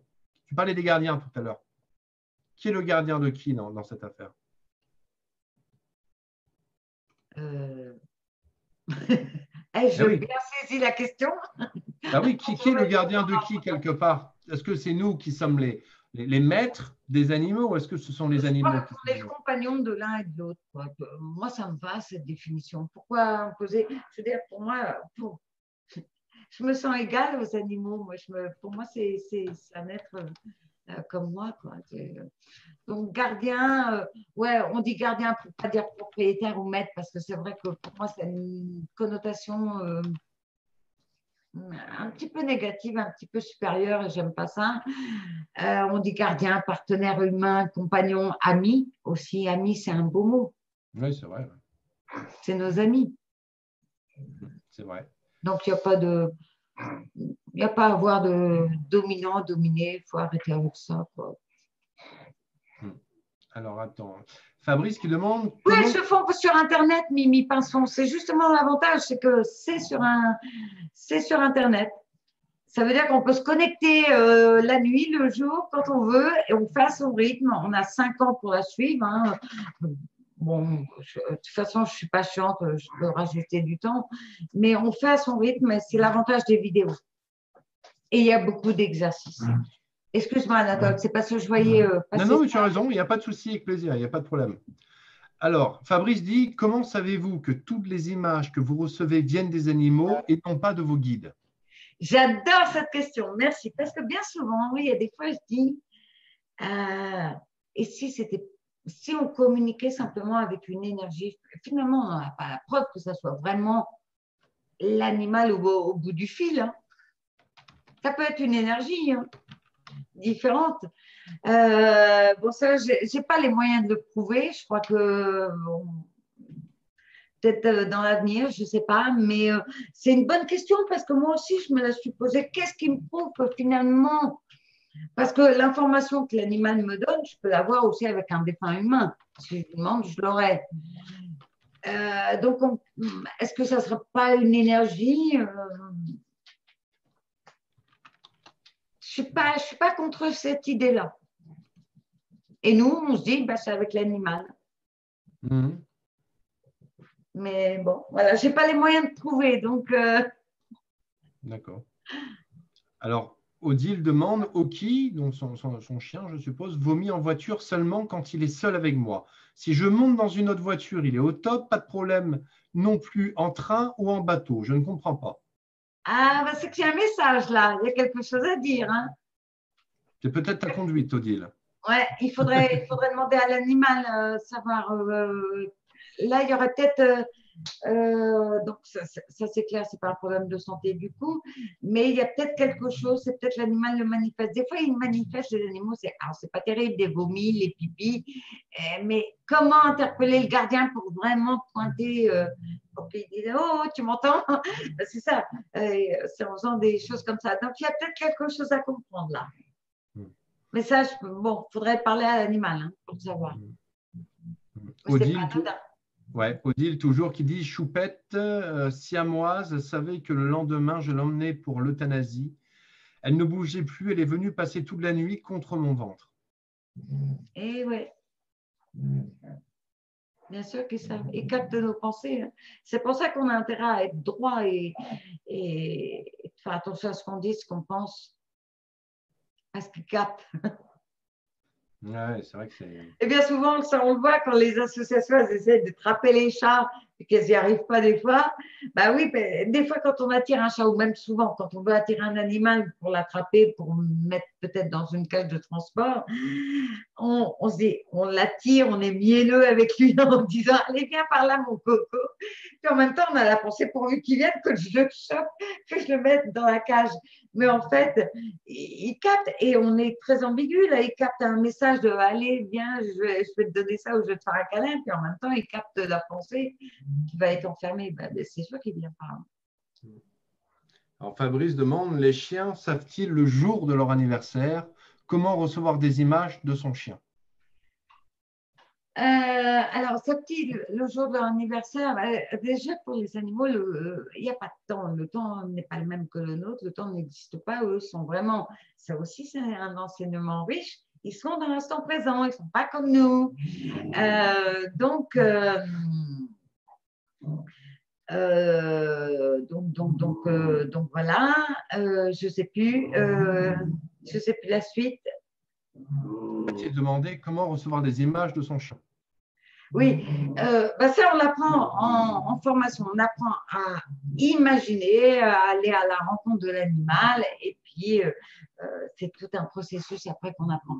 Mais on peut recevoir ouais, des images. D'accord.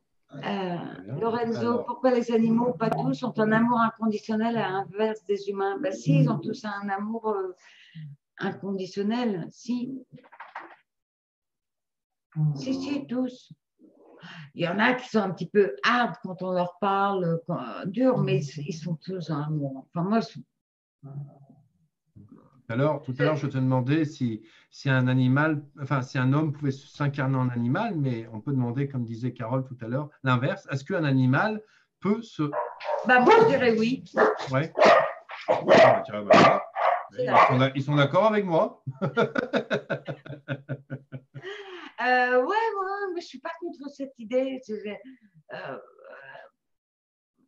Étant donné qu'on a le libre arbitre, moi je pars de ce principe-là, donc on peut choisir comment on va s'incarner.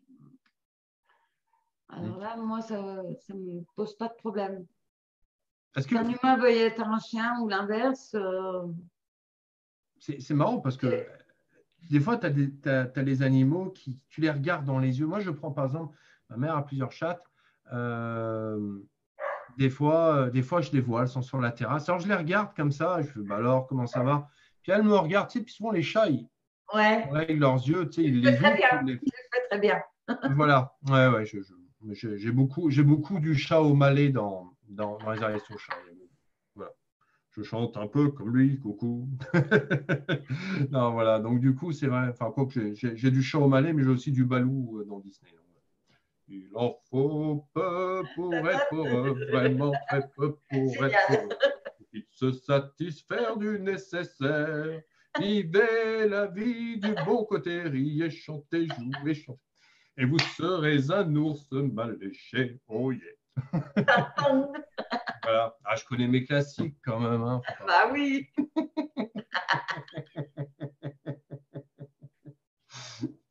euh, mais t'es dit un jour je la chanterai sans Mysteria. Je voyais pas trop quand, mais là je trouve que. tu vois. J'aime bien, j'aime bien. Voilà, je me suis dit que c'était, c'était le bon moment. Voilà.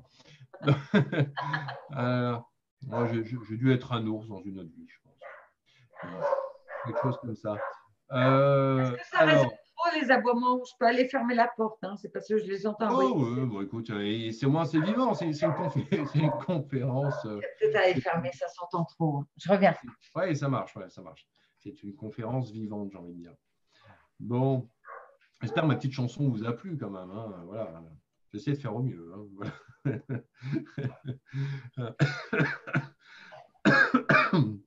ah, voilà.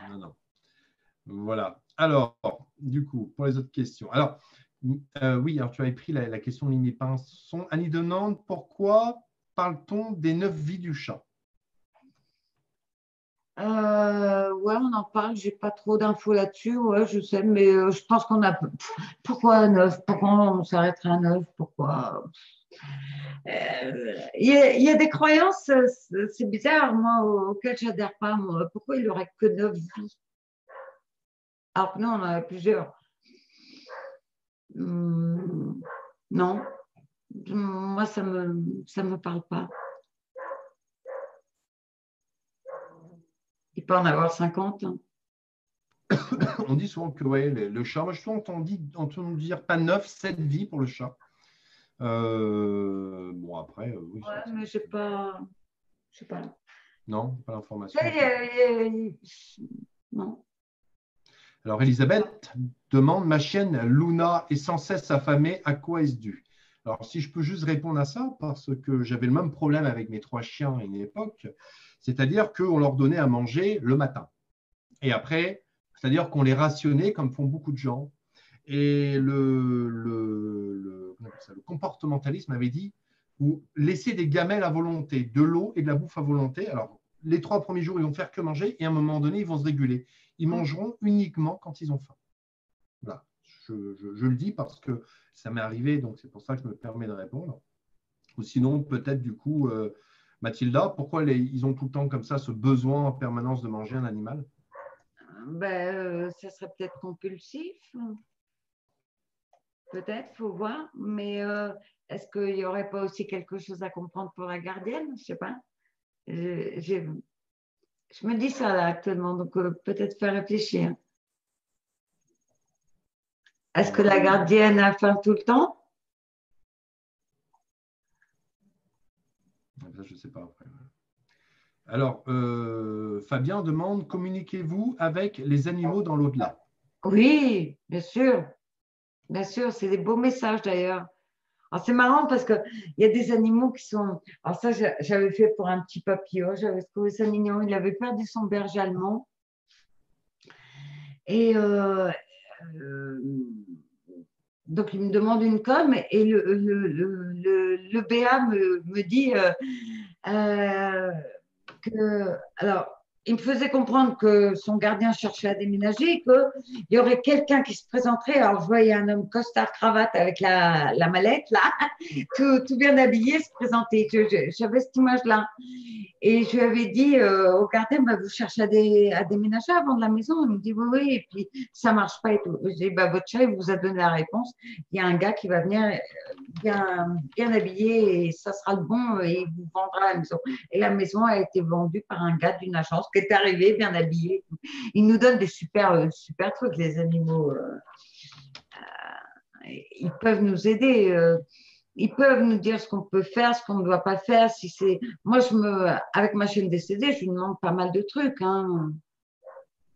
Je, je, je, ouais, je demande plein de renseignements. Ouais. Ouais, donc ils peuvent vraiment apporter quand même quelque chose. Ah oui, oui, oui. Alors, attention, décédés, même, même vivants, hein, ils nous disent ce qu'on a besoin de savoir au moment où on fait la communication. Sauf qu'on n'entend pas. Ouais. Parce qu'une fois, j'ai eu un, cas comme ça, ça remonte à quelques années, un petit charou.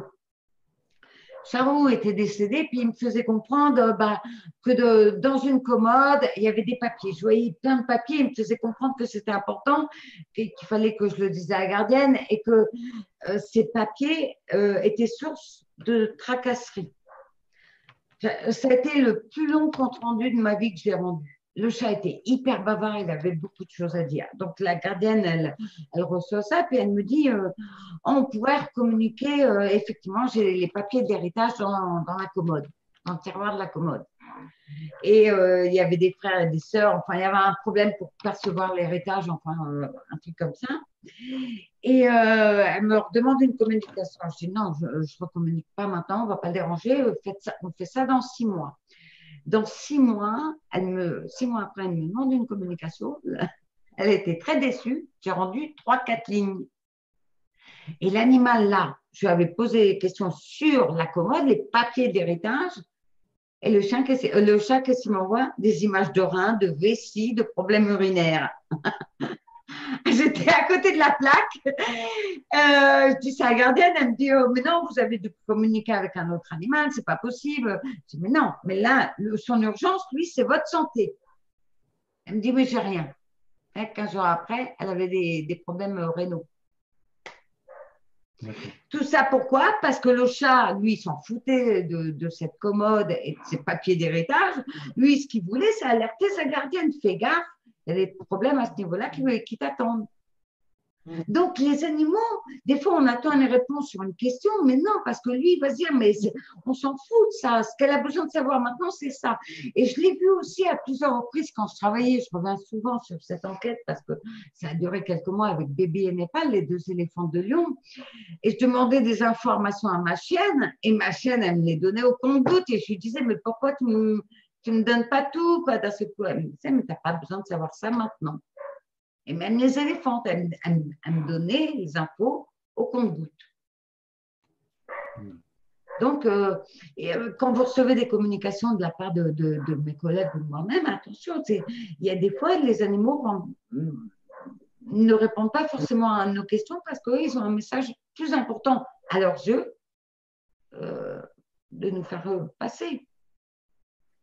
Il y a pas mal de personnes qui, qui, posent des questions sur les insectes. Voilà, savoir est-ce que les insectes ont une âme, voilà, est-ce que, ou alors c'est ou pas. Les insectes, ils sont super mignons. J'ai pas entendu la question, mais c'est. Est-ce qu'ils ont une âme? Est-ce que voilà Oui, mais tout a une âme. Bien sûr. Ils ont une âme, ils sont super sympas, ils sont. Il faut, négocier. J'avais eu un, cheval comme ça qui était envahi par les mouches. Ben, J'ai négocié avec les mouches. Et les, mouches sont. Euh, avec certains insectes, il faut négocier. Il faut, euh, les insectes sont pas méchants, ils cherchent de la nourriture. Ils cherchent. Euh, bon, voilà.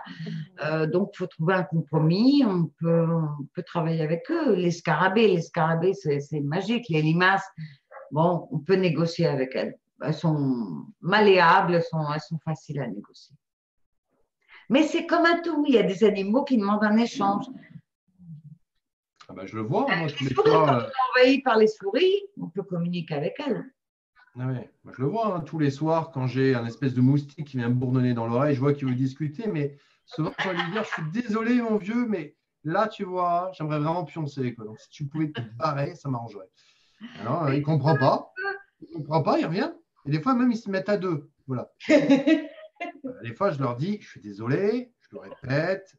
Ils vont commencer à me saouler, j'ai envie de pioncer si ça continue, je vais aller chercher la bombe anti-moustique. Je suis désolé, je n'ai envie d'en arriver à ces extrémités. Mais des fois, c'est pour ça que je me suis dit que le moustique, je ne suis pas sûr qu'il y a vraiment une âme, parce que le truc quand même un peu con. il, revient une troisième fois quand même. Hein. Non, il ne se démonte pas, le mec. Il revient une troisième fois. Là, tu sors la bombe. Mais euh, en général, il faut leur dire, voilà, là, je ne suis pas très contente que tu sois là. Euh, ça serait bien que tu partes, sinon je vais me fâcher, je vais être obligée. Moi, j'ai beaucoup de frelons je dois avoir un nid de frelons pas loin et, et, des fois le soir, il y a des frelons qui rentrent. il y a les chiens, les chats. Oh mon Dieu. Alors, je parle aux frelons. Ça serait bien que tu partes parce que euh, sinon, tu vas te faire titiller par les chiens et les chats. Tu es aussi dangereux pour eux, donc ça serait bien que tu partes. Et puis, bah, il y a des fois, tu es obligé de menacer très fort et, et après, c'est fini. Il n'y a plus personne qui vient. Mais ah mais en même temps, ces animaux-là, ils ne sont pas agressifs. Après, c'est tout ce qui est autour. Est-ce qu'on a des chats qui sont intrigués par ça, des chiens? Et après, c'est la folie. Quoi. Mais, même des souris, c'est vrai que j'imagine. Quand tu as plein de souris dans la maison, c'est l'enfer. J'imagine les souris, les rats, les trucs comme ça, là, c'est. Ah ouais. Alors les rats, les rats, en général, quand on est envahi par les rats, c'est des rats qui viennent nettoyer les lieux. C'est que les lieux, d'ailleurs, on le voit sur Paris, hein, Paris, Paris, il y a plein de rats. Et pourquoi il y a plein de rats Parce qu'au niveau énergétique, ce n'est pas le top. Donc, quand vous avez beaucoup de rats chez, si vous avez beaucoup de rats chez vous, posez-vous la question est-ce que le lieu est, bien C'est pas trop ça. Les souris, bon, c'est plus histoire de, trouver une maison. Ben, elles aiment bien, elles aiment bien la compagnie aussi, les souris. Euh, bon, après. J'aime bien la compagnie, mais tu vois, je me vois pas traîner avec des souris. Tu vois. mais non, non, c'est mignon, c'est mignon. C'est la queue que ouais. mais moi ah, aussi, tu sais, c'est un peu le truc des serpents, hein, pareil. Ouais, c'est ça. J'ai communiqué avec eux, et ben, veux dire, mon Dieu, ils sont mignons, les serpents. Maintenant, je ne dis pas que s'il y en avait un à mes pieds, euh, bon, mais j'essaierai de, de, de, me dire, bon, on reste zen, ils sont cool. D'ailleurs, tu pourrais pas nous. Est-ce que tu n'as pas un animal à porter que tu pourrais nous présenter? Euh... J'ai pas de chat. Euh, non, euh, à présenter là, Digan. Animal. Qui, nous fait un, animal qui pourrait nous faire un petit coucou. Voilà mon amie, elle va être contente parce que c'est son petit chat, c'est son petit chéri, c'est Jigan. J'ai Jigan, euh, Bohème et euh, le troisième. J'avais pris un nom. Euh, Jigan, Bohème et. Bon, je ne sais plus. Il y en avait un troisième. C'est beau celui-là. Hein. Ouais. Il a une couleur d'ailleurs très, très inhabituelle. Ouais, tout gris. ouais, très très beau. Non, les chiens sont dehors, du coup, vu qu'ils aboient. Donc, euh, oui, Fab, c'est loin d'être les bisounours chez les animaux, mais euh, euh, ben, ils sont comme nous. Et, et, puis, et puis, bien souvent, quand, bien souvent, on voit des conflits entre les animaux, mais il y a l'humain derrière. ne serait-ce qu'à regarder les, combats de chiens. Quand on examine, euh, les chiens ne sont pas méchants, ils n'ont pas envie de se battre. Quand on regarde réellement un combat, on voit les postures d'un chien euh, qui évite de rentrer en conflit avec l'autre chien. Et pourquoi il rentre en conflit? Parce qu'on a les humains derrière qui crient, qui hurlent et qui les poussent comme ça. Donc ça excite le, chien. C'est pour ça qu'il part en, combat. Mais sinon, quand on regarde bien le début des combats, les, les chiens ne veulent pas se battre. Ça, c'est l'horreur. Ouais. Mais beaucoup d'animaux sont comme ça. Et bien souvent, il y a des combats quand il y a des humains autour. Hein, les, chiens qui se battent. Euh, ah bah bien sûr, euh, Si on s'en va, les, bagarres, elles retombent comme un, comme un soufflet. Hein. On dit souvent que, que l'animal est à l'image du maître. Hmm. si toi, tu es agressif dans ta vie, on dit souvent que ton chien va être agressif. C'est ce que je te disais par rapport à tout à l'heure à la chaîne qui était agressive et que c'était l'effet ah. miroir de sa gardienne, ouais. bien sûr. Bien sûr. Mais il ne faut pas oublier qu'ils sont là pour nous enseigner, nous faire avancer. Donc, quand on, on a un, un, animal qui a un, problème de comportement, il faut peut-être se dire, attends, euh, est-ce que c'est lui, est-ce que c'est moi Ça peut être les deux. Ça peut être lui qui nous montre tel qu'on est. Alors, ça ne fait pas plaisir, hein, effectivement. Mais si on a suffisamment travaillé sur nous pour se dire, bon, OK, il est en train de me montrer un aspect de moi qui n'est pas terrible, eh ben, merci à lui parce que je vais pouvoir m'améliorer. C'est ça qui On est là pour avancer, on est, on est tous partis avec des. On a tous des mauvais trucs en nous et, ils sont là pour, pour clarifier tout ça et déranger. Moi, ce que j'adore, Mathilda, c'est les bruits qui sont autour de toi. Ouais, ouais, j'ai des gros chiens qui râlent. Ah, depuis tout à l'heure, rire. Ça râle, ça. C'est une maison d'animaux, hein, tu sais, il y en a partout. Ah ouais, je trouve génial, j'entends depuis tout à l'heure. Je, ah je, sens, je, sens qu'il y en a qui sont en plein sommeil. Bien, bien. Écoute, tu veux peut-être dire un mot pour la fin, si tu veux, Mathilda eh bien, euh, ce que je voudrais dire, c'est j'espère que vous avoir, vous avoir euh, fait passer l'information comme quoi il faut bien euh, accompagner votre loup dans la, dans la joie si possible. Laissez couler vos larmes, vous avez le droit à ça. Hein. et ne culpabilisez, culpabilisez pas si vous prenez la décision de d'euthanasie, ça c'est important aussi, mais euh, faites-le en toute conscience de toute façon, mais accompagnez-les en douceur. N'oubliez pas, c'est le dernier moment et la première fois qu'ils vous demandent quelque chose, les animaux. Les accompagner. Vous aurez le temps de penser à votre douleur. Voilà.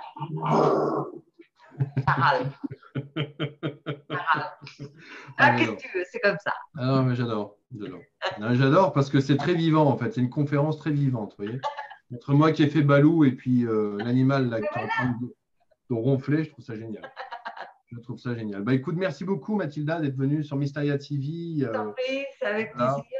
Euh, de toute manière, comme je la, vous pourrez retrouver donc ce replay, vous trouverez donc la formation de Mathilda sous cette vidéo. Merci beaucoup. de... Apprenez à parler aux animaux, ils ont besoin de nous, on peut tous les aider et vous en êtes tous capables. C'est surtout ça. Hein. Vous en êtes tous capables, c'est une faculté qu'on a tous à la naissance. Il suffit juste de la réveiller. Hmm. Une autre chanson, ah non, je veux dire juste une chanson. Ce n'est qu'un au revoir, ce n'est qu'un au revoir. On, on se retrouve la semaine prochaine. Euh, vous retrouverez donc euh, Anne Causeur euh, pour une conférence avec Olesia, qui viendra faire une conférence sur vivre consciemment sa vie dans le moment présent, donc mardi soir à 20h30 sur YouTube. Voilà, puis moi, vous me retrouverez mercredi avec Caroline Mangin ainsi qu'avec Denis Leparage pour une conférence sur la médiumnité. Voilà, bah, écoutez, merci à tous. Je vous souhaite à tous. Merci bah, merci également. Je vous souhaite à tous une excellente fin de soirée. Très bon week-end à vous. Oui, refais-nous Valou. Il y en aura qui demandent ça. Oui, oui, oui. Bon, d'accord. Une, dernière, une dernière fois alors. Pour le revoir. Peu pour être heureux, vraiment très peu pour être heureux. Il suffit de se satisfaire du nécessaire. Vivez la vie du bon côté, riez, chantez, jouez, chantez, et vous serez un ours mal léché. Oh yeah. Voilà. Bravo. Voilà. Sur ces bonnes paroles, je vous souhaite à tous. Sur ces bonnes paroles, je vous souhaite à tous. Un... je vous souhaite à tous un Merci, excellent. ciao. Un petit coucou à France. Voilà, un très bon week-end. Au revoir à tous.